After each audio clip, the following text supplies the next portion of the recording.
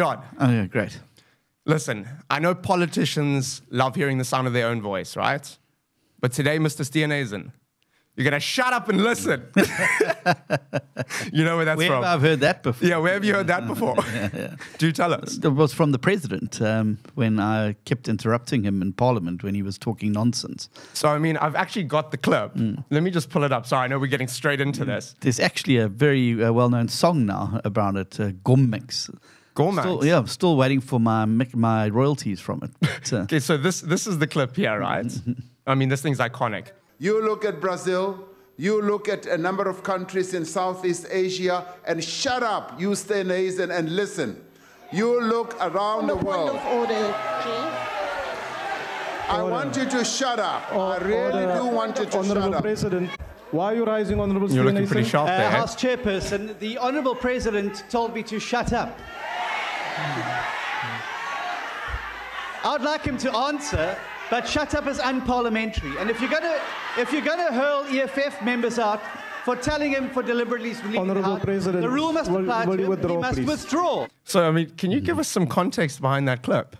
yeah, we was talking absolute nonsense about minimum wage. Uh, it has destroyed economies uh, in many, many parts of the world. And the examples that he was using, I kept saying failing economy, failing economy, failing economy. And he didn't like it. And the president's got an exceptionally thin skin. But you know that is the whole point of, of what heckling in Parliament's supposed to do. You're supposed to really get under the person's skin, and it's an art in Parliament to ignore the heckling and to focus on delivering your speech. Because what it did was threw him off completely off his message, and uh, which is what you want to do when when somebody's rattling away at the podium. So, I mean, is that what Parliament is always like? Because I generally, I'm not a huge, and I just want to mm-hmm. start off this interview by saying, I know very little about mm-hmm. politics, mm-hmm. right? And I know that can sometimes be dangerous when you're bringing on politicians. And I'm not saying necessarily in your case, but a lot of the time, um, politicians get interviewed by people that can't push back enough, right? Well, I've never had that problem. What, getting pushed back? you get pushed back a lot. well, I do quite uh, hectic interviews, Stephen Sackur and, and others. The one on Hard, hard Talk. Hard Talk and others, yeah. So it's uh, I'm used to tough interviews, so push back. But I mean, with with this, right? Is Parliament always like this, or do you guys actually get stuff done? Well, I think that uh, what you're watching on TV and in a clip like that is literally 10% of the work. The majority of the work of Parliament happens in the committees and behind closed doors, and often a lot of work is done in the pub, uh, and deals are done, etc. There, um, there's a high degree of consensus actually in in Parliament, um, and to make a place like Parliament work, there has to be a relatively high degree of consensus between parties, which is what the chief whips do, and and the whips and the caucus leadership um, are managing the processes. So what you watch on TV is generally the floor show, and obviously people have to play to their bases and play to the gallery and to get their message out there because everybody's watching and. Parliaments around the world are robust like that. You can watch the House of Commons, you can watch the US Congress, you can watch the Indian Parliament, and for entertainment value, the Taiwanese Parliament as well, where there's often I've seen. punch-ups. I've seen. There's like. I think it was uh, exactly what you just said. It was the Japanese Parliament or something where you have to fight to stay on the stands, and your whole basically uh, uh, Correct. Yeah. So group team, they like fight for position. Yeah, Parliament's a robust place, and politics, as I've always said, is a contact sport, and you know it, it's robust, and you've got to have a thick skin. Something the president hasn't developed uh, particularly well. I mean, he takes great offence quite easily, which is remarkable for someone who leads, uh, you know, the largest political party for now in South Africa. But there it is. I think he's far more used to sitting in boardrooms where you've got you know people who sit around the table nodding their head as you speak, rather than being used to a robust environment like Parliament, where where I've certainly spent the last fifteen years of my life. What he was saying about the minimum wage. Um, was completely ignoring the fact that it was going to lead to massive job losses in the agricultural sector, which it now has. It was going to lead to a contraction of employment, which it now has. And we were just pointing out those points to him. And obviously, he didn't like the truth being said to him because, you know, it's much easier to make these you know, government by announcement things about a minimum wage without doing the real work of what the intended versus the unintended consequences would be uh, if it were to be applied. And is the employment rate higher in Cape Town than it is in places like Joburg, and Durban. Yes, and that's a function of the growing economy. So 98% of net new jobs were created in the last quarter in the Western Cape, 368,000 jobs that are created because the economy is growing here. Because we don't talk about growing an economy, we get on and do it. You cut the red tape, you attract investment, you put a high price on and focus on infrastructure because infrastructure, water, sanitation, roads, electricity are the backbone of economic growth. And that is why the economy is growing here. It's why more people are employed here and why you have a better chance of finding a job here than in anywhere else in the country. when I go into places like uh, Dunoon, for example, I see cables running everywhere, um, and I don't see the infrastructure. Mm. So, I mean, where is that infrastructure? And I kind of want to get on this a little bit later as well, but people always say Cape Town is so beautiful, and you guys have done a really good job at running the city, right? Mm. But as soon as I leave that little circumference around Cape Town CBD, and Cape Town is by far the nicest city mm. in South Africa. It's beautiful, right?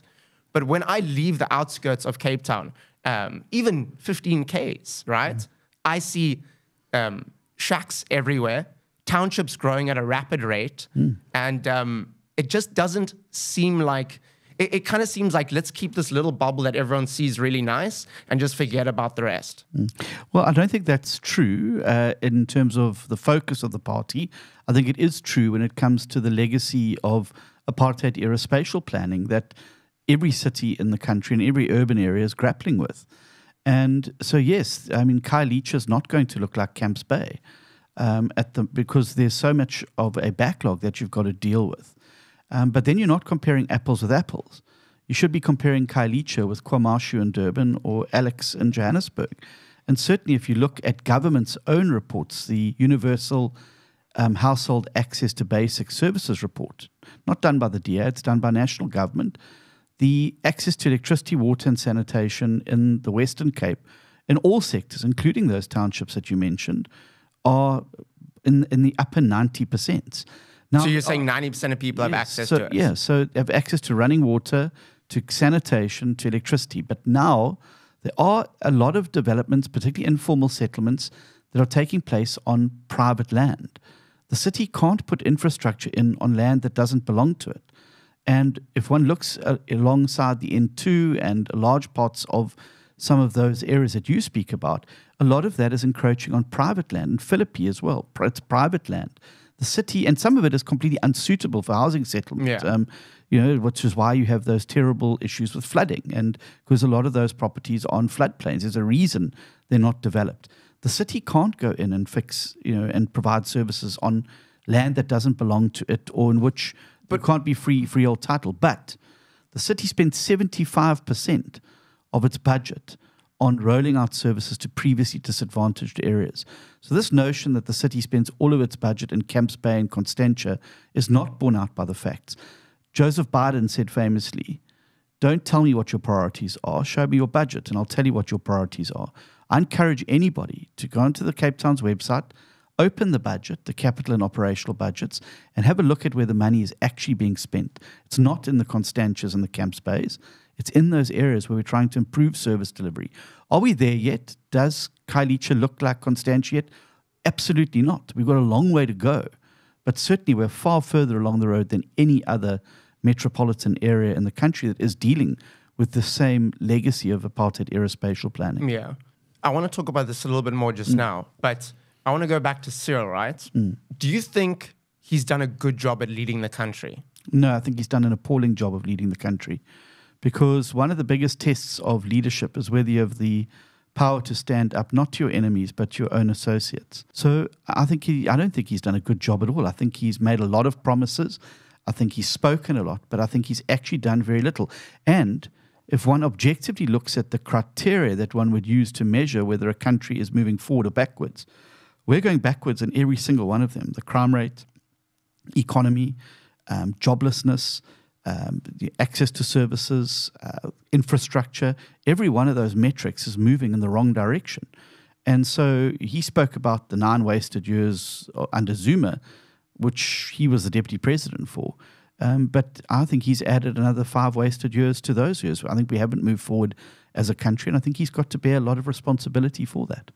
And I mean, sorry, my back is really killing me. Yeah. I was on. I was at a wedding this weekend, and it's really Dancing too much. Yeah, literally. Yeah. And I never dance. So you know, I've actually got you a pillow as well. Okay. These chairs are a little bit stiff. You know? I'm fine, thanks. Are you yeah. sure? Yeah, yeah, I'm absolutely Yeah, fine. just- Uh, but wrong currency. These are euros. Uh, these are oh, euros, Oh, no. not dollars. you know what happened? You know what must have happened here? what? Cyril came over for a Yeah, we sleepover last weekend, and he must have left his pillow. Well, you know why he needs to put that into his pillows and mattress? It's because if you don't have a spine, you need something to keep you upright at Something night to keep you bed. rigid. So that's why you've got that stuff stuffed. yeah, sorry. I mean, I had no idea. I mean, I hope I'm going to get to keep some of these. I mean, five euros is like what? That's like a million rand. I mean, talking about stuffing money in pillows, you know, actually, I call him squirrel because yeah, squirrels hide their nuts in, in trees. You know, uh, Cyril hides his his money in his couches. But um, I thought NDZ's got his nuts. Never mind the couch. I, I wanted to know, right? Going, I want to talk about the incident with the the money, the four million dollars that was found in um, Cyril's couch. Can you just give us some context for the international viewers as to what happened there? Well, the president was found, uh, well, he had a whole lot of money uh, in foreign currency stuffed into a couch in his private residence. And, you know, if this had happened to, you know, Emmanuel Macron or to Joe Biden or to any other world leader, it would have been an international scandal. Um, first of all, you're not allowed to keep foreign currency in that amount. Secondly, the money had not entered the country legally, and I've got that clearly from SARS. It was not declared How was it entered? Does anyone know? Nobody knows uh, yet because the South African Reserve Bank and the public protector weaseled out of their responsibilities to get to the bottom of that. That's precisely the things they should be asking. And now the Reserve Bank comes out with this so called incomplete transaction. And the terrible precedent they've created now is that anybody can have foreign, large amounts of foreign currency, and they can say, "Well, sorry, the transaction's not finished. I'll declare it when it's finished." It is a terrible precedent, and this is what happens when you have institutions of state contorting themselves into into pretzels to protect one man. Um, the president could have dealt with the thing so easily. He could have come out right from the beginning and said, I'm sorry, it is wrong. I shouldn't have had this. I will declare it. I'll pay any fines, I'll pay any tax. I've been very busy trying to fight corruption and maladministration. And I think the country would have moved on. But it was the deception. The money got stolen, was not reported to So that's how people found out, Yeah. right? It got stolen from his couch. Yeah, it got stolen from his couch. He didn't declare it. He didn't open a case with the police. Instead, he sent the Presidential Protection Unit to go and recover his money, which itself is a conflict of interest between his duties as Ramaphosa the president and Ramaphosa the businessman. You and I don't have a Presidential Protection Unit that can go and recover money stolen from our homes. Yet he had that, that power because he was the president. That is an abuse of power and a conflict of interest, and it should never, ever have happened. Also, without a police um, case number, what basis do you cross borders and go and investigate, etc.? We still don't know how that money came into South Africa, what it was used for, what its intended purpose was, why it wasn't declared and put into a safe you know and like and we still don't have those answers and i don't think we ever will now because our state institutions that should be getting to the bottom of things have all weaseled out of their responsibilities because they're terrified to upset the president And do we knew, know who stole it? well they do know who stole it um, but a lot of those guys have mysteriously disappeared uh, the, the criminals i mean we've never had them why were they not called before the public protector why were they not called to before SARB, etc.?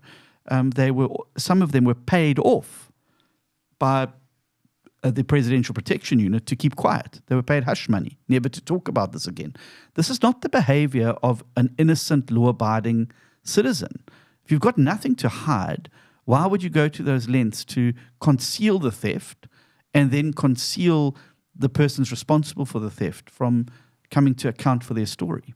Has, but has corruption just got to a point where it's so normal here that things like this can be like, oh, oopsie, Yeah, well, I- four million dollars in the couch, whoopsie, 62 million rand or whatever it is. Yeah, I think that South Africans have become immune to to these things, and it is a terrible situation over this one particularly because this is a man who should be setting the example.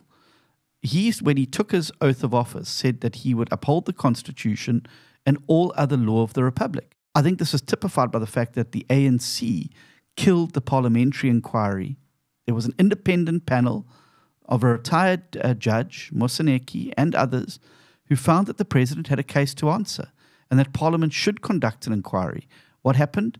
Exactly like they did under Zuma, they voted that particular investigation down, just like they did with the Nkandla one. So it's over. They're, they're no longer investigating will- it. the parliament will no longer investigate. So he's just got away with it scot free. yeah, he's got away with it because he's used his majority in Parliament to protect him from accountability. And that's why I say he's lost the moral compass now to be able to, to lead the fight against corruption and maladministration. I mean, w- when it comes to Zuma rights, Mm. what is happening with him right now? Well, he's got off scot free. he's not. He's not in prison anymore. He's eh? not in prison anymore. He's facing 783 charges of fraud, corruption, and racketeering, and only as a result of the dogged persistence of the DA over the last 15 years to make sure he faces in day of his day in court, including having the ridiculous decisions by Mokotedi M- Mpshe and um, and others overturned for exonerating him. He will have his day in court on those. But I think there's been a terrible precedent set by releasing him now uh, in the way in which the president has done. Because in order to buy cover to release Zuma, he had to release thousands of, of convicted criminals at the same time.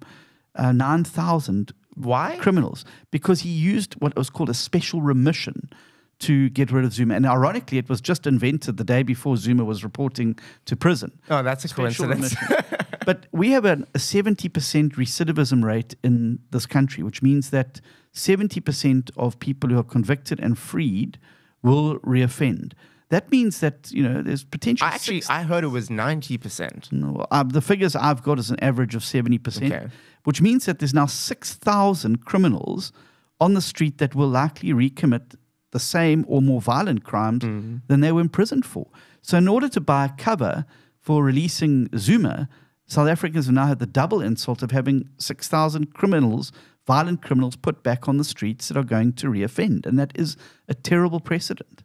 I mean, speaking about Zuma, you, you guys are both from KwaZulu Natal, right? Correct. Um, were you there during the riots? Yes, I was. I, I flew the moment the riots broke out. I got onto an aeroplane and flew into Durban uh, to see for myself what was going on on the ground, and uh, you know, interacting with our people, there, our councillors there, trying to obviously assist communities, and to try and convincing to convince the president that you know you better do something because this thing's spiraling out of control rapidly. The police are not in control. They had run out of ammunition. They had run out of uh, rubber bullets. They had run out of uh, tear gas. They were begging, you know, private uh, gun shops, etc., to help them with ammo, and. Uh, just a complete shambles. And to me, a very good indicator of how fragile our country still is, and how easy and what in what a tinderbox we we sit on, um, and how important it is that you, if we don't do something quickly, to get the 30 million people who live below the poverty line in the country working, to get our youth employment up, you know, we, we could see scenes of that breaking out far more rapidly around the country in far more places. I mean, I, I was there as mm, well. Mm. Um, so, I mean, I'm from Cape Town, actually from mm, Zimbabwe, but I've been here pretty much my whole life. And when I saw the riots break out, I also flew there. And um, I mean, that must be one of the biggest disasters really to happen, not natural disasters, but disasters to happen in South Africa in a long, long time. I mean, we've seen the fire now in, in Joburg, also a massive tragedy, right? But um, when, I- when I saw the what was going on in, in Durban, I also flew down. I have family there, and I went to document it. And I was really shocked by what I saw. I mean, in, in Durban, right, my um, family lives in a small town, and there's a little bridge there that um, links them to the next town. And if that bridge wasn't there, they would have to drive 40 minutes to get around, right? And that bridge broke a few years ago due to flooding. And it took about eight years to fix it. When they fixed it, it collapsed again. And eventually they, f- they fixed it now and it's, it's working again, right? But when I saw those riots and when I got there, people were uh, barricading the small towns, right? They, they had rifles on them. They had uh, AK-47s. They were ready to protect their their um, their town, right, uh, or their neighborhood. And um, the, I mean, the destruction that went on there was just immense. I mean, I don't know the figures, but I heard it was in the billions, right? Correct. How do you avoid something like that? How did something like that happen? Who was who was at fault? It was a breakdown in law and order, and the government was too slow to respond with task forces. And it started actually on the N3. When they allowed the trucks to be attacked for two days before any action was taken, it sent a very clear message that now's the time for us to act. And it spread like wildfire because there was no concomitant police action to, to suppress it from happening. And then people saw the scenes of the looting and rioting, and it encouraged more people who are who live at the periphery of the economy, excluded from from opportunity, to say, well, now's my chance. You know, the TV I've always wanted, or the plants I've always wanted. I'm just going to go and take it, and and so it snowballed. And as it snowballed, the police lost even further control. And I remember the president um, called a Zoom meeting of the opposition leaders. And I said to him, Mr. President, I'm here on the ground. I said, whatever your advisors are telling you, it's not true. You need to get down here on the ground. I remember driving through Phoenix and seeing bodies on the side of the road. I went to go and visit families in Ntuzuma who had lost um, loved ones in the in the rioting. I went to go to Pinetown to see the warehouses being burnt. Went up to Pietermaritzburg to go and look at the damage they'd done to uh, economic infrastructure. I mean, I was standing centres. outside the Makro two days later. The gas canisters were still firing off yeah. inside there But from the the big thing was the police just withdrew from that whole situation. And what you saw was citizens having to defend and protect themselves. Which they did. Because the, the law enforcement, you know, was just completely absent. And again, it goes to show just how broken our policing system is in South Africa. We still police in a Victorian way. Uh, we don't use technology. We don't use world advancements in policing science. And we don't use devolution, which gives greater power to local uh, and provincial governments to be able to determine police resources. There, they were waiting for instructions from Pretoria, you know, thousands of kilometers away from from the epicenter of where the problem was, and it can happen anywhere. I mean, we saw here in the Western Cape over the taxi. Um, I was just about to mention, yeah. taxi rights there, but that was brought under control relatively quickly because Relatively. relatively because we have city law enforcement and who were able to step in uh, where the police had, had absolutely abrogated, and in the case of the police minister, sided openly with the lawbreakers rather than on the side of the commuters and law abiding citizens. So was the taxi strike because you guys are putting on harsher regulations on the taxis? Was that the reason for it? No, the the rea- the reality is that the city was implementing national legislation that has been on the statute book since 2018, passed by a vast majority of ANC MPs in Parliament, and which the national department has instructed provinces to implement. There's no point having laws and regulations if they are let sit idle on the books. Um, there was nothing out of the ordinary that the city was doing outside of the the enforcement that's provided for in terms of that national transport legislation. And clearly, the Minister of Transport, Cindy Chikunga, has got no clue about what her own legislation is, and was openly telling you know uh, telling the taxi operators and taxi drivers that she was instructing the city to ignore the laws. Now, if you have something called the rule of law in South Africa, it means that everyone abides by the rules, the regulations um, of the country. And that was why, in both instances, when this thing went to court, the judges sided with the city and the province because they said, but these guys are implementing the law. This is legislation. Uh, what you people are doing is, is unlawful, it's outside of the law. And that's why the court ruled in the favor of the city and the province on both those occasions. Do you think the taxi union is the most powerful union in South Africa? I think they're one of the most powerful, and I think that they are uh, certainly behave in a way that is above the law. Um, I also don't think we get a full benefit of the cash and money that is flowing through those very lucrative businesses. If one looks at the revenue declaration for the taxi industry in South Africa, it's very low on, on terms of, of, of, and it's not a reflection of the amount of money moving through those businesses. It's cash, it's undeclared, and I think that's a problem. Um, I don't think they're paying their fair share in tax and uh, and and revenue uh, tax, and I think that it's it's an outrage. But nobody wants to tackle them because they get away with things. And I think the more examples we set around the country, like Cape Town set, that, sorry, you won't behave above the law. You won't come into meetings with machine guns, and you will abide by the law um, if you want to negotiate. I think those, you know, the, the better it'll be. Um, I think they've got a, a culture of impunity precisely because people are too scared to take them on and tackle them. I was just about to say, are you scared of them? Because, I mean, we saw they just shut down the whole city. They can do what they want when they want, and it seems like there's very little consequences. I mean, I know several of them got arrested, taxis were impounded, but when I looked at the footage, right, of people walking from uh, Cape Town CBD to Khayelitsha, Yeah. walking home after a full day's work, I mean, how do you avoid that? And are you scared of them? Well, I'm not scared of them, um, and I think that nobody in the country should be scared um, of any uh, organization that behaves outside the law because there should be a consequence for that. Look, they lost a lot of revenue over those days as well. Let's not forget that. Uh, to go four or five days without takings when you've got taxis to keep on the road is significant, and I think that you know they realized that that was it was going to hurt them more in the long run if they carried on with this than than not, which is why they folded for the same deal that was made, you know, right at the beginning of the process by the mayor and the premier, as they were losing revenue. But had the city buckled on day one, I think it would have set a terrible precedent because then the next time there's something that a law that needs to be upheld, they then just say, well, you know, we'll just trash, destroy, break. And then you're not in the realm of the rule of law, you're in the realm of the law of the jungle. And whoever can, you know, uh, raise the biggest army, whoever can cause the most destruction is the person who wins out at the end of the day. And I think that would be a terrible thing for South Africa. And do you see yourself as president one day? Um, I've said already, uh, right from the beginning of this process, that this isn't about making me the president or the DA the president. And we've been very open that right from the beginning that we must choose a presidential candidate who can maximize the number of votes that we'll be able to get. And it could be somebody who's not currently in frontline politics. Um, it could be somebody who's in one of the other parties. And we've made that very, very clear.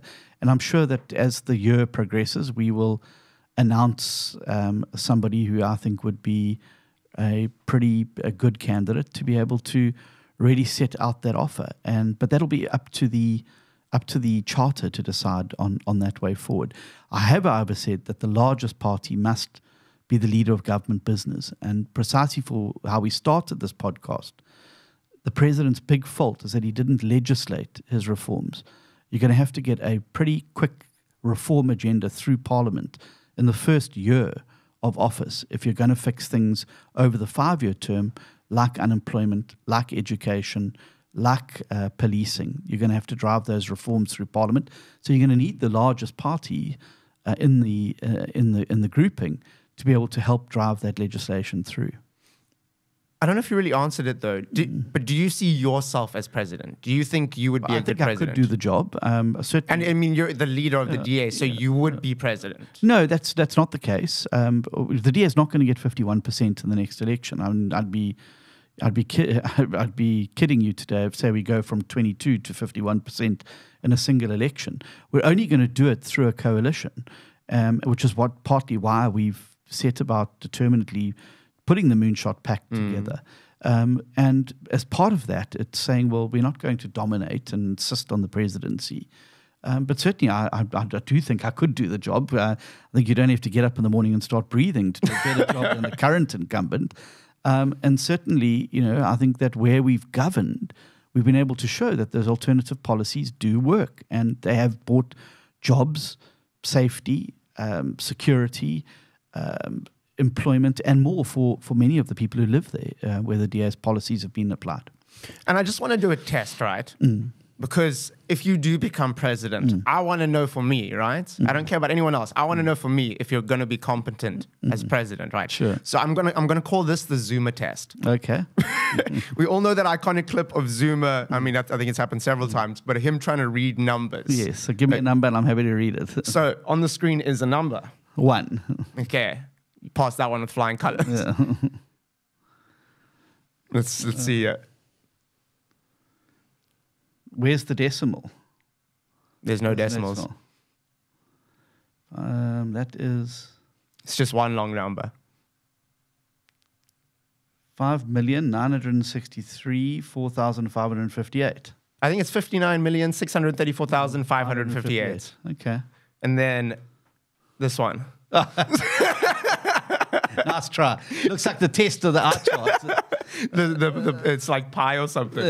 Um, I mean, okay, that was that was just a bit of a goof. I, did, I didn't expect you to get that one. to say, well, that's gonna you know, that's gonna take me a bit of time to, to work out. Yeah. Oh, we've got all day. I mean, you Yeah. go for it. Uh. But I mean, I, I do want to talk about uh, service deliveries a little mm. bit more, right? We mm. kind of talked about it a little bit mm. earlier because I see, like in Sea Point, a lot of people complain about. I call it Clearview Estate because they've got the fence around it, but it's a it's a settlement of homeless people um, and gang members and addicts, right? That live in basically by the tennis courts within a mm. fenced-in area mm. in Sea Point, right?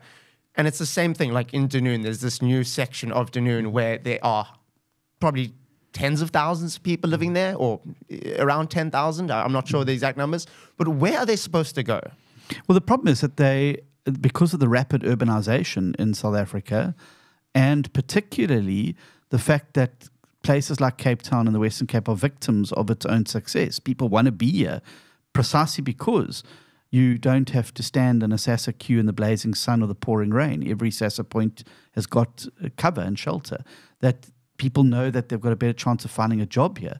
But the problem is with a rapid urbanization, even with the best will in the world, if the city spent its entire budget on housing every year, you would not be able to facilitate um, houses for every single person at the rate at which the urbanization is taking place. I live in Sea Point, so I live just down the road from that very So you know all about it. very Yeah. place that you that you're talking about, and it's not ideal. And the city is fighting an ongoing battle with the Western Cape High Court, uh, who don't you know who rule against the city being able to move people along.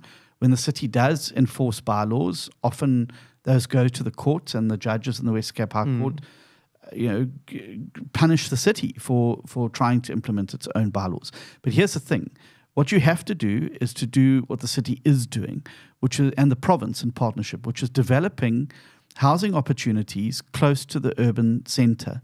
It's no use the model that and and perpetuating the apartheid model of building places on the outskirts of of the urban edge. You need people want to live and work in in the urban area because it reduces the cost of Travel, transport yeah. and it also means that they have better access to services. Well located public land within the urban edge is is going to be the the answer to the problem. I just want to talk a little bit about about the clear view there because people say what is what is the city doing about it? Well, the city pays a large amount of money every single more than any other metro in the country to partner with shelters to be able to take homeless people off the streets. And Culemborg 1, 2, 3, and 4, which are in the city centre under bridges, provide precisely accommodation for, for people free of charge.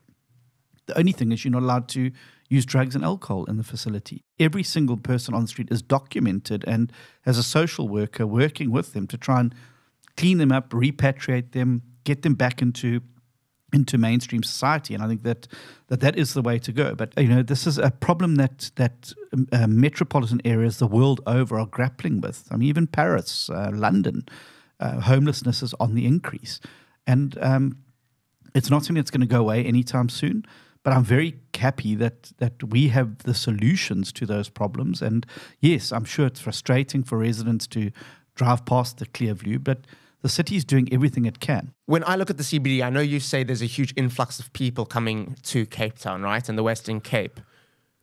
I mean, there's so many more homeless people than there were five years ago or 10 years ago. Mm. I don't know what the numbers are, but it's, I mean, it must be in the thousands, right?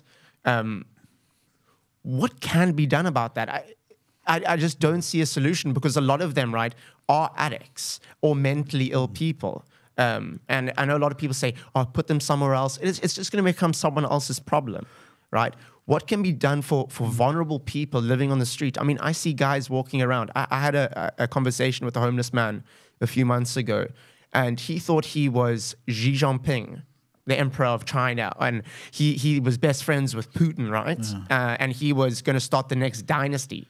I mean, and this guy's just living on the streets. What can be done about that? Because you can't put them into homeless shelters, and a lot of them probably just end up getting sent to prison. Yeah, well, this is a tragedy about the about the system and about how mental health is dealt with in South Africa. um, and the fact that we have a massive shortage of social workers uh, in the social welfare department who should be dealing with cases exactly like this.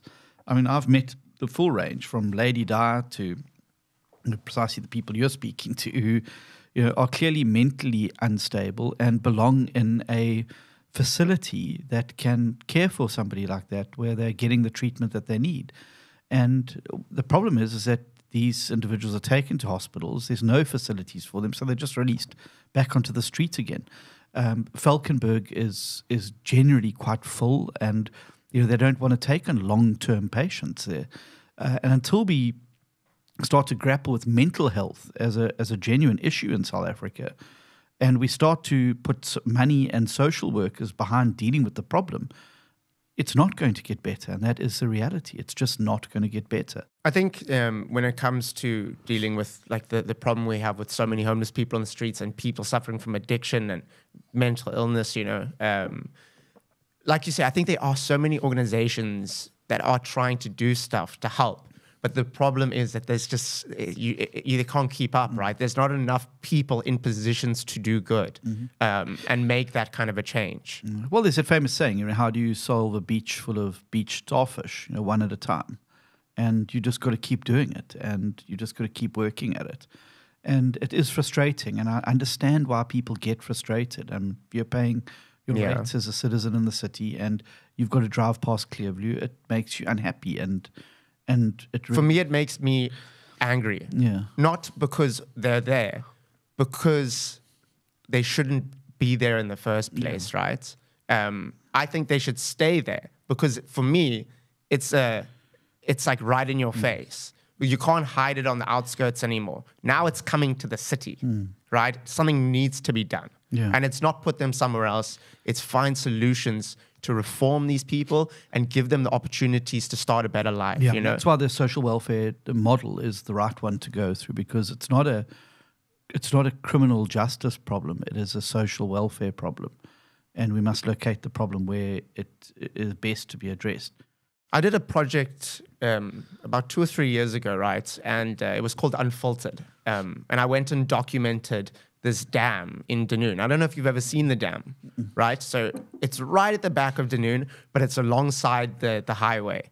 And um, this for me is like the clearest example of things not happening in certain areas, right? Because this dam has been there. They say it's never ever been cleaned. I'll show you some footage that I took, and it was actually I risked my life going there because I went in it. Um, you'll you'll see here.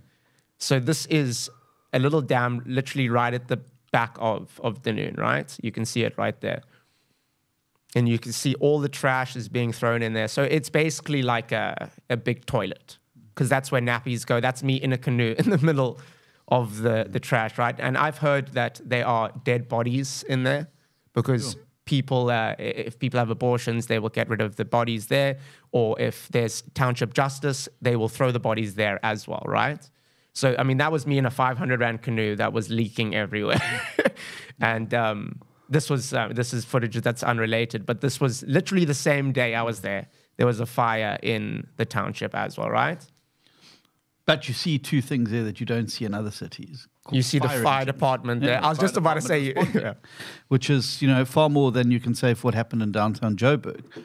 And you know, obviously, it's it's important. Look, I don't know uh, what the what the circumstance of the dam is. I don't know whether it's a privately owned piece of land or whether it's city land. it's it's city land. It's part of the main section of Dunoon, and that's the reason I wanted to bring it up because I've posted about this dam for I mean several years now, and the clips have gone. I mean, some of the clips have been seen all over the world, but the dam is still there. And it's still dirty. And it is such a safety hazard. Every time I go there, I see dying animals next to the dam. I saw a dog literally die while I was there.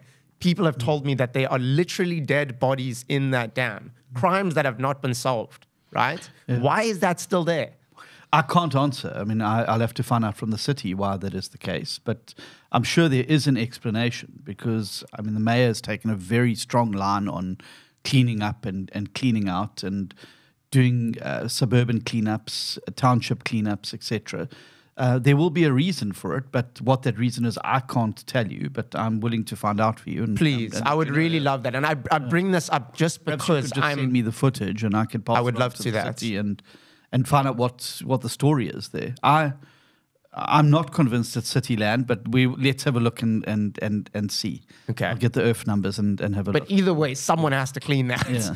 I mean, and that's just a very small example in a, you know, I mean, it looks like a quarry of some sort that that sort of filled up. Uh, try to go back. It, it, it is a quarry, but it's so it's in the main section of Dunoon, where um, I mean, there's kids that go play there, and uh, yeah, it looks like a quarry of some sort um, that was used to quarry stone. At one point it must Yeah. have had a use, but now it's I mean, there's surfboards in there, there's everything in there. Um, You know, it doesn't look very good at all. No. And I, I bring it up to you just because I thought this was a good opportunity to get something done.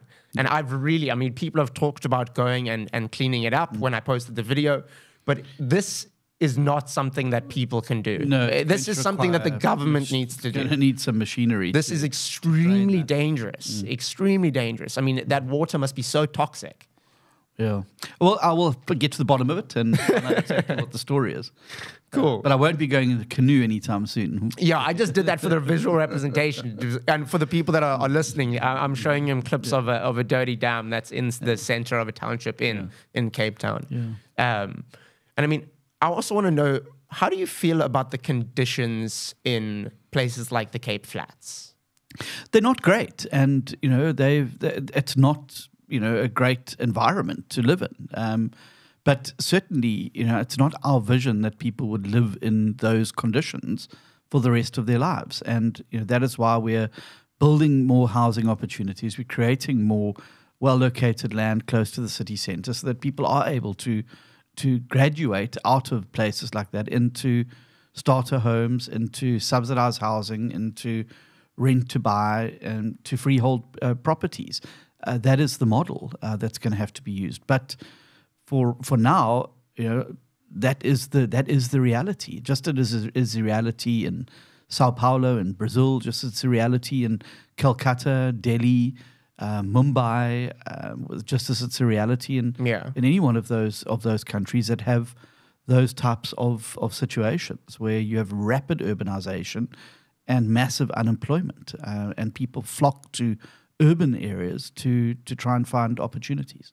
And what, I mean, in terms of, I know I know the gangs are very prominent in those areas, right? And I go there a lot, and I, and I always talk about it on the podcast because I feel that it's really important to speak about because I, I think no one really does, or very few people do, because it's so normal, right? Someone gets killed there, um, it doesn't really end up on the news because it happens so often. But if someone was killed, say in this area, it would be a big headline, right? Um, what can be done about the the drug problem and the gangs problem in those areas? Well, remember the the genesis of this problem was the disbanding of specialized units. You used to have uh, gang units within the SAPS, and I want to just ma- make it very clear because this is where a lot of people start to cross their wires. Policing and safety and security is a national government responsibility. We have a national police system in South Africa. Um, and part of the reason we're fighting for devolution so hard is to get provincial and local government more policing powers. With the disbandment of those specialized units, the Narcotics Bureau and the uh, and the gangs units, you, ended up then without a, a focus on it. The reality is you'll never beat gangsterism and drugs unless you have an intelligence-driven operation. Yes, you can do the Bobby on the beat and do the raids from time to time, uh, and yes, you will take drugs off the street. But the reality is that unless you have intelligence-driven operation, you're never going to get on top of the gang problem. You're never going to get hold of, hang, uh, hold of the drug problem. Now, let me talk again why I think devolution is so important. We have a national police plan that hammers the square peg of national policing into the round holes of different provinces and just bangs it in. But the problems facing the Western Cape are very different to the problems facing the Northern Cape. And the problems facing KwaZulu Natal are very different to Limpopo. Let me use an example here. Saving a police service and don't believe that poaching is a priority, Perlemoen poaching. What they don't realize is that the Perlemoen poaching industry is intrinsically linked to the guns, uh, the drugs industry, which is intrinsically linked to the firearms industry and linked to gangsterism. there's a chain there. It's all linked. So yeah. if you don't deal with the one section, you're not going to be able to deal with the rest of the chain. And that's why the provinces now have to step in with an anti-poaching unit to try and stop the perlemoen poaching. Because if you can do that, you can stymie the drug in the, the drug uh, trade in, uh, in in the Western Cape. And this is precisely why we need to have, I believe, more provincialized policing services that can focus on those more relentlessly. And it's also why the Metro Police under JP Smith have introduced the gangs unit in the Metro Police to try to get to grips with gang related violence and to try and use smart technology, drones, um, intelligence, being able to track cell phones, being able to track um, you know, the movements of, of well known gangsters to try and combat crime. But the reality is, just as in Chicago in the 60s and New York in the late 70s and eight, early 80s, you won't beat the, the gang and drug problem unless you have intelligence driven operations that goes after not the runner on the street, but the kingpin sitting behind all of these uh, all of these gangs. That's where the people those are the people that you've got to go after. And many of them are politically protected. Many of them pay off the police. I was very tragic going on a raid one evening with the Metro Police, and they'd taken a excuse me, a 38 special revolver, silver one, off one of the gangsters. And I said to the guy, "You must be so pleased." He said, "I would be, but this is the fifth time I've taken this gun off From the him. streets, Oh. or not off the streets. Yeah. Guns are going into the file 13 and going straight back they're out. going straight be sold back to them by SAPS. And I mean, this is no longer a matter of speculation. It's been proven, and it's a huge problem, um, which is why giving the province more control over the policing service is going to be able to, I think, massively solve uh, solve this issue. But going after the runners, the small fry, and leaving the whales, well, the, the runners are easily replaced. Speaking about this, right? Like I hear a lot of the solutions you're giving, I find are we must uh, take down the kingpin, or we must stop the crime, right? Correct. Uh, or we must um, intercept this one so that doesn't get there. But for me, it's not really about like. I don't think taking out the kingpin will do anything. I don't think policing it heavily will do anything, right? Because there will always be corruption there. With me, I think the solutions are um, working with the kids, right, and and changing the next generation so that it doesn't keep happening. It's so it's easy to to do a, a raid or take down this this guy, right? I'm an uh, I'm a recovering addict, um, and I've I suffered from addiction from quite an early age, and I know an addict uh, or a dealer uh, or a criminal will always do find a way, right? They'll always find a way to get. You can stop this this delivery, but another one will come. You can take the kingpin out, another one will be will, will take his place, right? What can you do for the next generation to make sure that they don't fall into those traps and you stop it from the ground roots? You don't stop it. You don't try and cut, cut off the head and then another one grows. You, you start by the feet and build it up, you know? How do you do that? So I don't think it's an either or. I think it's an and. I think you can do both. Yeah. Um, I think that if one looks how the gangs were beaten in Chicago and New York, it was by decapitation. Gambino family, um, the um, you know the Lucky Lucianos of the world. It was through Al Capone's. It was through targeting of of those individuals and removing them that that decapitated those organizations, created instability within them, and then they fell apart. But the, the social side of it is also important, and and you're right, it does start in the schools, and that was one of the reasons why the Western Cape has these after school programs where they create facilities for children to go after school to either do recreational activity or to do their homework just in a safe space where they're not then influenced by drug dealers and, and the like. But again, I come back to the point we have a massive shortage of social workers in this country. You know, drug problems require social work. Uh, it's, it's not, again, the criminal justice system is not going to help an addict. Um, you know, you can jail an addict as much as you like. It's not going to get them off the, you know, off whatever they're addicted to. No, especially in our prisons Yeah, where it- well, people I have mean- drugs in prisons, have cell phones in prisons, and can keep doing criminal Well, activities you in can prison. bring a dead body into a prison these days and set it alight, as we what, saw. what do you mean? Well, that famous case uh, of Can you tell me Thabo- about it? Thabo Bester that uh, Oh. they escaped. He escaped out of jail by bringing. They smuggled in a dead body And burnt it to so alight they in the cell, and they thought it was him. And while he escaped, um, yeah. So yeah, I mean, our prisons are also, and I mean, that's a whole new conversation. Of as well, course, yeah. because I don't believe our prisons are um, are rehabilitatory in their nature. I think they become universities of crime, and children go in for minor offences and come out, you know, ready to commit harder offences. For sure. Um, but again, I come back to the point that we have social problems in South Africa, and you can trace it back to many, many things.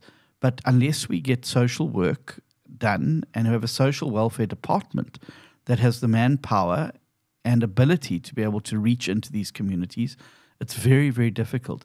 A school teacher is not going to be able to solve, you know, a domestic problem at home, um, you know, in a broken household. Uh, you know, their job is to teach. It requires social welfare to be triggered. And this is what how other countries work. When there's a domestic problem or they pick something up in the school, the system works because there's an alert then that goes out to the social welfare department in that particular area. And that social welfare department then opens a case and goes and investigates it. And if there's drug abuse, drug addiction, there's treatment clinics that people are then going to. So you've got a system, a, a whole ecosystem of problem resolution. In South Africa, I mean, you've got teachers that, that they won't be able to do that. You, social welfare workers that are so overworked and, and underpaid that, I mean, there's just no ways they can carry another case. And we don't have the facilities. I said mental health facilities and treatment facilities for people who are, who are addicts. And, and I'm talking here particularly uh, people on the lower income levels. I mean, you were probably very lucky. You've got parents and a family that cared for you and probably had yeah. means that you could go to a facility. We don't have facilities for the lower um, lower um, income groups. Um, people who don't have medical aid. Where do they go? What what facility are they taken to um, to to beat that addiction? It's it's a it's a, it's a huge problem in South Africa. Mm. It's one that has to be has to be worked through. I think we've laid decent foundations in, in some of these uh, areas, right? Um, I mean, we've got amazing teachers, we've got amazing hospitals, right? But at the same time, like with the hospitals, not enough doctors, schools, not enough teachers. And it's a big problem with people leaving South Africa. I mean, uh, there's uh, back in Dunoon, right? I always go to Dunoon because that's where um, someone I know lives. Um, I went to the schools there to do some work, and there was one teacher for like four classrooms. How do you stop professionals and doctors and teachers from leaving and going somewhere else? by creating an opportunity economy where people stay. People will always be where opportunity exists. The moment people see a lack of opportunity or their career prospects being limited on the basis of the color of their skin or you know the language they speak, they're going to find opportunity elsewhere. And particularly skilled people um, who are in demand will always find opportunity. And that's why we've got to, you know, understand what the push and pull factors are for excellence uh, in South Africa and, and focus on those. Crime is a big deterrent for professionals. They don't want to live or work in an unsafe environment. Um, you know, triple B double E is a big deterrent to people who don't want to be judged on the color of their skin. They want to be able to be judged on how they work and what they bring. And you know, I think we've got far too many push factors that are prevailing in South Africa and not enough pull factors. How do you attract excellence? Well, you don't do it by having a draconian visa regime uh, where you can't even bring in critical skills. You don't have it where you make this such an unattractive investment environment with no electricity, no running water, none of that. You you know you you're not going to attract investment into an environment like that. And so opportunity uh, w- w- um, professional people always go where opportunity is, and that's why we've got to turn South Africa into an opportunity economy again, where people see this as a country on the up and up. They see they want to be part of this. And we have so much potential. No, I mean, that's that I love South Africa, right? I love the people here. There is nowhere on earth like it. I've been to several places. There's nothing like it. But it just scares me coming from Zimbabwe. I've seen where it goes, and I mean, I landed in Joburg the other day for a wedding, um, and I saw that there was a. That I met the rabbi that was mm. officiating the wedding, and he said, "How was your your flight? You're enjoying being in Joburg?" And I said, "You know, when I landed here, I mm. thought it was Zimbabwe." Mm. Well, exactly, and I mean Joburg does resemble Harare in the in the early '90s. You know, everything for sale, no buyers. Um, definitely not a city. Derelict houses everywhere. derelict houses, and people leaving now in droves for for other parts of the country and other parts of the world. But this is what happens when you have a city being run by a man who got less than 1% of the vote in, in a city. Um, you know, it doesn't have to be like that. Joburg should be at the epicenter of economic growth, regeneration, and development. But the instability in that city um, for the last eight years has made it virtually impossible for any government to get stuck in there and, and fix things. So you make progress and then you get voted out in a motion of confidence because someone like Gayton McKenzie decides he's going to get an extra seat from the ANC, collapses the government, they put this guy Gwamanda in charge, and uh, the city's roads are literally blowing up every. Gate every- McKenzie was a bank robber, wasn't he? Or he, he was a criminal originally. He was a bank robber, and he and he served his time. Uh, and I'm less worried about his past than his present misdemeanors. And I mean, he's really causing havoc at local government level. Uh, Nasner, which he was in coalition, is bankrupt. Beaufort West was supposed to be turned into the Dubai in the desert. Um, there was a huge fundraiser they had in Johannesburg. The Dubai in the desert. They probably put like a little monopoly house there, and that cost twenty million dollars or something. They had a big fundraiser in Joburg. They raised millions of rands. It was ostensibly for the use in turning Beaufort West to the Dubai in the desert. Well, no one knows where that money's gone. Um, Gayton's skipped town in Beaufort West and now gone to Joburg. Um, and it's it's a disaster. The cadre deployment in the departments they run in uh, in Johannesburg. So it's very difficult to to transform local government when you've got that instability, and that's part of the reason why we're focusing on the Moonshot Pact. A large part of that instability was that there was no plan, and that's why I said in April, let's use the time now between now and the election to iron out any differences, to come up with plans and alternatives, so that if we get in, we know immediately from day one what we need to be doing and who's going to be doing it. Um, so we don't end up with that same chaotic system we've seen in Johannesburg playing out at a national or provincial level. The last thing I want to do is um, I got a, a bunch of questions from the audience. Whenever I have guests on, um, I, I usually post a story on Instagram. Josh Wide Awake, by the way. And what's your, what's your name on Instagram? Um, at Jay Steenhuisen. at JSDNAs, and so go follow him. But uh, also before the podcast, I often ask people to, send in questions, right? So there's a few questions here, and um, the the first one is: Can you please explain what BRICS is and how it will impact South Africa? So BRICS is a, a, a grouping of countries: Brazil, Russia, India, China, and South Africa, which is ostensibly trying to create a new uh, trading bloc of of countries. Um, because they want to what they call uh, rebalance the the deficit. They essentially in opposition to the Western alliances. Um, and the reality is that South Africa is a very small player in all of it. Our economy is the smallest out of all of the countries, and we don't really derive much benefits from BRICS. 77% of South Africa's foreign direct investment comes from the US, the UK, and the European Union. We have bilateral agreements with the European Union and the United Kingdom. We have a unilateral agreement called AGOA with the United States, which gives us um, duty free market access to the American market with no reciprocity in ours, is hugely beneficial, uh, which means we can import, uh, export BMW X3s into the US cheaper than they can manufacture them in the US plant of Spartanburg. Massive advantage. We don't have a single bilateral agreement with any of the BRICS countries. So that's more of an ideological thing than an economic sense thing. And we compete with Russia um, for uh, in in the market for uh, rare earth and minerals, um, and it doesn't make much sense for us to to be doing that in opposition to our trading partners, where we're responsible for the bulk of our foreign direct investment and where we have access to the markets. I think also Russia is using it as a way to try and create a friendlier environment for themselves um, as they're being isolated by the rest of the world because of the invasion with Ukraine. The other worry now is that two of the new countries that have been added to the BRICS system, um, Saudi Arabia and uh, United Arab- Arab and- Emirates. and Iran, Iran, sorry. are countries that don't share the same values and principles as South Africa. There are no women's rights there. The LGBTQI community are discriminated against in those countries. They don't believe in women's rights to vote or participate in the daily affairs of them. And, you know, I worry that we're aligning ourselves with countries that don't share the values and principles that we hold dear in our constitution and which could harm us later down the line. And how do you feel about Cyril cozying up to, I mean, people like Putin? Well, he's doing it for a simple reason, and it's got nothing to do with what's in the best interest of South Africa. It's what's in the best interest of the ANC.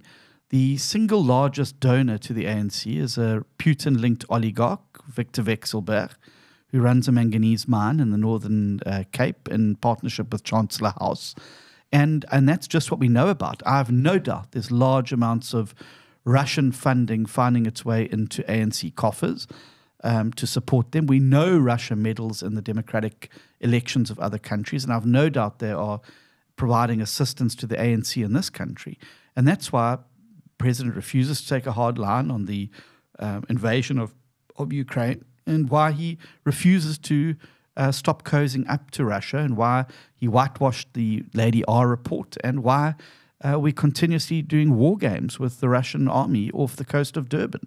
Uh, all of these things are very detrimental to our relationships with our large trading partners and the people who invest in our economy and who allow us access to their markets. And you know, it's a dangerous game, and the president's going to get his fingers burnt if he carries on down this road. The next question from someone in the audience was uh, Why has marijuana been legalized in South Africa? And um, what benefits will it have on the country, if any? Yeah. Well, I mean, I, I think that um, part of the reason it's been uh, it's been legalized for personal use is the fact that it's become impossible to enforce and to police. Um, in the past, you'd have to put a lot of policing resources to go after you know people who were found in clubs with marijuana and clogged up the court systems, etc. It was felt that uh, it is a less harmful drug than some of the others, but there's also some commercial benefits from the from um, from marijuana that South Africa could be exporting around to the rest of the world. Uh, there's byproducts of of marijuana itself, and places like the Eastern Cape have a very depressed economy, and KwaZulu Natal also with a depressed rural economy could be using those uh, access to world trade on those byproducts um, to to create opportunities and jobs in the country. There is a concern about the gateway, uh, whether it is a gateway drug into into more serious drugs, and uh, there's been studies both ways on that.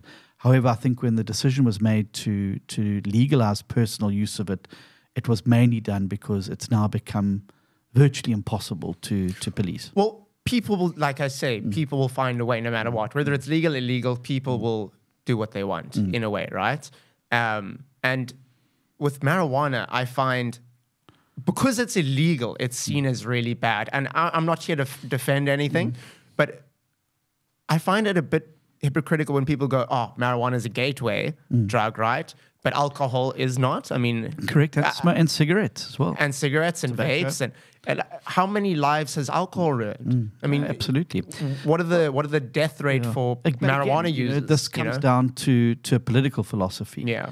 And I'm a liberal, um, and I'm in the liberal, not in the American sense of the word, but in the traditional liberal sense of the word. And I believe it's up to people's personal choice about what they to do what they want. No, that's why I Within don't reason. believe in, in liquor trading hours. I don't believe in making a government making personal decisions for people about tobacco, which is why we will oppose Zol. new tobacco and tobacco bill. You know, I'm, I think that people have must have agency to make decisions for themselves, and provided those decisions don't impact or impugn other people's rights and responsibilities. Exactly. You know, people must be free to be who they want to be and to make their own life choices. But it's it's And- also safer, right? Because now you can get them from credible people. Yeah, but it's also like the liquor trading hours. I mean, it doesn't make sense to me. So I can I can go to a illegal shebeen, or I can go to a restaurant at eight in the morning, and I can order four double vodkas, and I can get absolutely off my head. But I'm not allowed before eleven o'clock to go and buy a bottle of Chardonnay for for lunch it just doesn't make sense to me. And I think that when we get into this Calvinistic, draconian, um, legis- trying to legislate people's behavior, uh, it's a it's a slippery slope, and that's how you end up with, like we had in COVID, where you were being legislated about whether you could buy Crocs and Yeah. T-shirts and whether you could buy cooked chickens or not. And we must be very careful about opening the door for government to start legislating about people's personal choices. Um, you know, and, and I think I think that people, as a liberal, I believe people are best able to make their own decisions about about their future and about what they do, and they should be left alone to do so, provided they don't harm or impinge on other Yeah. people's rights. And I want to ask you this question. You, you can just say uh, no comment if you don't want to comment, but have you ever smoked weed? Yes, of course. of course, I love that. no, of course. Are you an avid smoker? Or? No, not at all. Actually, I don't smoke cigarettes at all. But you know, there's people who say, "Well, I've never smoked marijuana." I, I have smoked marijuana before. I didn't like it. Um, I don't use it. I wouldn't encourage. Did you only do it once? yes, and, um, Can you tell me the story? well, I, it was so long ago. It was like I think first year varsity, um, where you know these things uh, become the rage. But I mean, I don't enjoy it. I don't smoke cigarettes or vape, so you know, the, just the whole concept of it uh, didn't appeal to me. Um, but yeah, I mean, uh, but I'm not- certainly not going to you know be a moralist about whether other people should use it. And I'm certainly Yeah. not going to sit here and say I smoke, I puff, but I didn't inhale. I, being, being dishonest, and I, I think that you Yeah. want politicians to be honest with you. That's about- it. Yeah. about what they've what they've I'm done. s- I'm so sick of hearing politicians just bat what people want to hear, like what they want to hear, you know. Um, and with you, I, I really do get kind of a genuine vibe. Well, thank you. It's a pleasure. There's nothing to thank. It's just you. But um, I wanted to play one voice note, right? So one of my friends, his name is uh, Ronnie Coleman. Uh, he wanted to send a voice note. I actually haven't listened to it yet. Oh, well, that's a bit dangerous. yeah, no, no, I might, I'm not gonna, anything. No, no, I've, li- I've listened to a bunch of his uh, voice notes already, but uh, he wanted to s- basically say something, and I'll just Okay. play it. Um, Connie Coleman.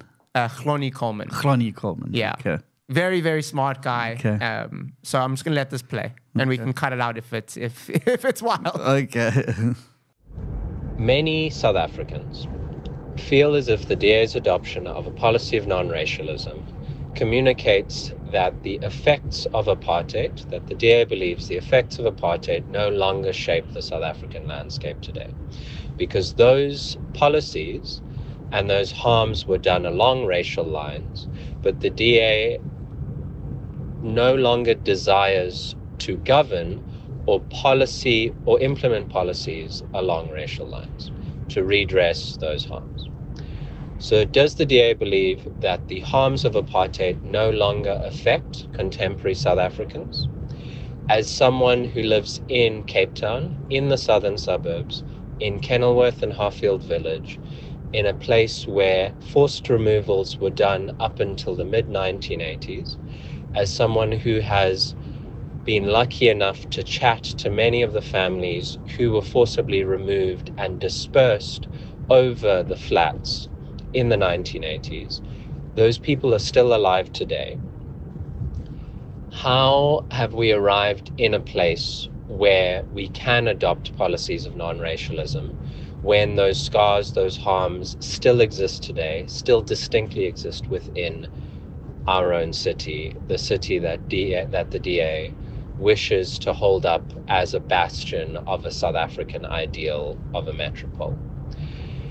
If he feels as if those policies of apartheid are no longer relevant to contemporary South Africa, what were the policies in democratic South Africa that were implemented that alleviated, corrected, and let us forget the harm done under apartheid? Yeah, so I mean, first, first of all, he starts off with uh, with a chronic misconception. First of all, let me be clear: non-racialism is not something the DA invented. It's enshrined in our constitution. The constitution calls South Africa to be a non-racial country. The ANC, as well, notionally, in their preamble to their constitution, says that they uh, believe in non-racialism. Non-racialism does not mean that you deny that there's there's a there's a history. Non-racialism doesn't mean you're blind to color either. Non-racialism just says that we don't treat people in the country as envoys of their race and ascribe characteristics to them. So if you see a black person, they must be poor, they must be downtrodden, they must have uh, had a terrible education, and they must have, have they must have no opportunity. And you know, or if I see a white person, they must be rich, they must be privileged, they must have come from you know a terrific home, and they must have had every opportunity possible. And the point of departure here is that we've had race based policies being applied over the last 30 years to try and redress the ills of race based policies. What have they achieved? Well, they've driven black unemployment up massively. They've meant that black households are now 10% poorer than they were 30 years ago, than they are today. And they've been nothing broad based or empowering for the 30 million people who live trapped in poverty. So, layering race based policies over the ills of previous race based policies is like, you know, treating a gunshot victim by shooting them again. Uh, you don't. You've got to do something different. And a good example is one he uses uh, forced removals. By his analysis, then, and his his uh, proposals, what have we done? Well, should we then go and evict all those people in Harfield Village and and make them victims of forced removal, or do we do something different? And our view is that that government has failed to bring in place broad-based empowerment policies. And I would encourage him, really encourage him and others to go to the DA website, da.org.za, and read our economic justice policy. It starts with the problem statement of apartheid and what apartheid has done. But it says we're not going to redress the ills of apartheid by perpetuating a reverse apartheid in South Africa. Secondly, race based policies actually harm poor black South Africans more than anybody else in the country because A, they're locked out of opportunity, B, the premium that is paid for price gouging to fulfill the requirements of triple BEE mean that the state has got less money to spend on the opportunity side of the economy, and I'll speak about that shortly. When you're paying 2,000 Rand for a household broom at Eskom and 800 Rand for a knee pad at Eskom, that's money that could be being spent on building schools and creating opportunities. So our view is that, you know, that people should not be seen as envoys of their race, that race-based policies create more harm than good, and that if we really want to fix the, the problems of inequality in South Africa that Shlonice talks about, you've got to do it by focusing on the on the opportunity side of the equation. Mm. Government has spent the last 30 years on the outcomes side of the equation. They're trying to create an equality of outcome rather than equality of opportunity. What are the drivers of an equality of opportunity? First of all, excellent education, where it doesn't matter if you're a poor rural person or a rich urban person, you get a good quality education healthcare that can provide for you, living in a, a decent home and a, a, safe environment, being able to go to university, uh, being able to access jobs. Those are the of the opportunity side of the economy, completely neglected by government over the last 30 years. And they've tried to now focus on creating equality of outcome, where you're trying to now manage what comes out of the pipe. Whereas if you focus on what, what's going into the pipe and, and what's going to come out at the end, if you create that equality there, you've got less to manage on the outside of it. And that's precisely what our policy suite seeks to do. We also say that, you know, you don't need a proxy for disadvantage in South Africa. Is race a proxy for disadvantage? We say it's irrelevant because we have 30 million people living in poverty, 99.97% of them are black South Africans.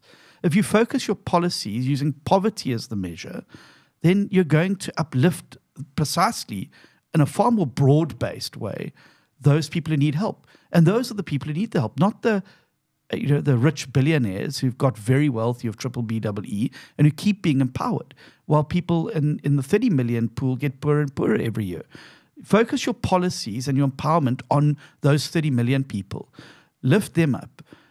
Yeah, there might be maybe you know, a comma something percent that are Indian and a comma something percent mm. that are what, but generally you'd be doing that without the price gouging and the beneficiation of people who are already empowered.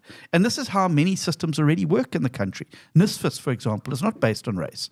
Uh, it's based on on on pure economics. Do you, what is the household income, and do you qualify? The same with the SASSA grant. It doesn't ask you what your race is to qualify. It says what is your income. You know, provide your SARS statement.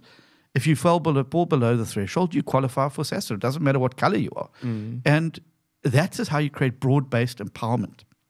Continuing down the road of, of trying to, to manage things like triple BEE um, and to manipulate them in the way that, that this government is doing is going to do even further harm to the economy. And the more money that is gouged out there, it's less money to put on the on the opportunity side of the economy, which the world over shows that that is how you beat you beat inequality. If race based policies plain-based policies were a driver of equality, why do we live in the most unequal society in the world still after 30 something years? Surely the inequality gap maybe not have, have gone, but surely it would have narrowed. Instead, it has widened. And now the biggest gap is between rich black South Africans and poor black South Africans. That's the biggest inequality gap that exists now in uh, in the country. So race-based policies, I think, are are regressive, and I don't think they genuinely help the the broad-based number of people who really need help from from this government. And I think they create opportunities for corruption and manipulation. And when it comes to forced removals, right? You mentioned what is happening in places like District Six. Yeah. Well, District 6 is tough because, again, it's one, something the cities wanted to get control of. It's owned by national government, the Department of Public Works, um, who have messed around for far too long. And it is a prime site where we could really. Because there's a lot of empty land there, Yes, right? exactly. And And that land was previously owned by And people what- and their places were demolished, What right? a great site to build a, another Conradie, uh, another well located piece of public land. And even the. Would, would, it, the would it go back to the people that it was taken from? Though? Well, it should, and there's a, there's a whole process here. But those people have been messed around by national government for years and years and years, and keep being made promises, but those promises are never met. But we would love to be able to get control of that piece of land because, man, we could really build a inclusionary housing, um, inclusionary housing project there like Conradie, um, and really, you know, house a lot more people close to the CBD. There's plenty of vacant land there, but there's also a thing about redress, and this is the other thing. And you know, land claims are outstanding at the current rate of of land claim adjudication. It's going to take 30 years to adjudicate the land claims that are currently in the system. We put on the table in Parliament a proposal that would bring in retired judges and magistrates to sit in specialized courts to adjudicate land claims and accelerate them because we've got to close that chapter in South Africa. People who were arbitrarily dispossessed of land because of the color of their skin require compensation. And where the land can't be provided back again, there should be an alternative Form of either- compensation, either, yeah. either financial or uh, or alternative land uh, or opportunity, and and that should be should be processed. But I mean, those land claims courts move at snail's pace, and many of the recipients or claimees have died waiting for justice still. And that is precisely why we put on the table that fast tracking process to be able to to give people land. And it's not rocket science. Government's got tons of land. Government is one of the largest landowners in the country. Should be the largest, no? Yeah, they've got the, they've got tons and tons of, of, of open, disused public land. Give people the land, give them title. And build on it. Uh, well, give them title, give Hmm. people title so that they've they've got a stake in something. Um, and yeah, it just it is very very frustrating. But I really would encourage Shani to go and read the economic justice policy on our website because it's not as he says that you're colorblind. It just simply says you don't ascribe characteristics, and it has using the sustainable development goals a, a big focus on how we fix the economy side of, of the equation, which is really the, re- the real drivers of inequality. Final question. Right, I know you have to go. So, um, what vision of hope do you have for young South Africans? You know, why should they stay here? Why shouldn't they go somewhere else where there's a a, a, a more stable future? Well, because this is a the most fantastic place in the world. It really is, and there's so much opportunity here. There's stuff that is still to be done here that's been done millions of times over in many of those other economies. We have huge opportunities that are as unmined potential here. But young people need to be part of that journey going forward. They need to become the heroes in, in how we tap that opportunity. And one of those ways is by making sure that they vote. A lot of young people, there's 13 million people that are not registered to vote in South Africa. The majority of them are people between the ages of 18 and 35. They've checked out, they say politics is not, I'm not interested in politics. But the reality is that if anything this last two, three to four years have shown you, is that you may not be interested in politics, but it's very interested in you. It can switch off the lights in your business.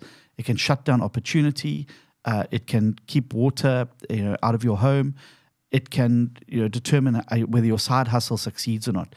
So you may not be interested in politics, but you better get interested because it affects every aspect of your life. And as young people, we should not be allowing other people, older people, to make decisions that are going to affect our future without us being part of that. It's not time to sit back and get No. complacent. This is not the time, and especially this next election. It's going to be a hinge of history election for South Africa. South Africa, and I think many international observers and local observers are watching very carefully what happens in next year's election. And for many, it's going to be a decision point about whether they stay or whether they go. And we need to make sure we push the hinge of history in the right direction. Uh, but we can only do that if we're registered to vote and that we're active citizens. Change doesn't happen by osmosis, it is an act of the will. It is getting registered, and it is so easy. You can do it online. It is so easy. You don't need to leave your home. You can do it online. Uh, uh, check.da.org.za, great website. It'll tell you whether you're registered or not. If you're not, it'll direct you immediately to the IEC website. You upload your ID document, you register, you're done. You can then vote next year. The power in this next election and this next year is going to lie with the registered. And young people need to rise up now and be part of that power. Uh, otherwise, you know, you're going to sit around complaining and moaning about things. But I'm sick and tired of complaining. yeah, I really something. am. Do something. Let's it's do an something, Act of the will. It's an act of the will, and and young people need to be part of this new journey as we write South Africa's next chapter. John, thank you so much for coming down today. Thank you. And um, yeah, I really enjoyed this conversation. I think uh, it was very productive. And please clean this down. Anyway, thank you everyone for watching this episode of the Wide Awake podcast. I hope you enjoyed it as much as I did. And I'll see you all very soon. Cheers.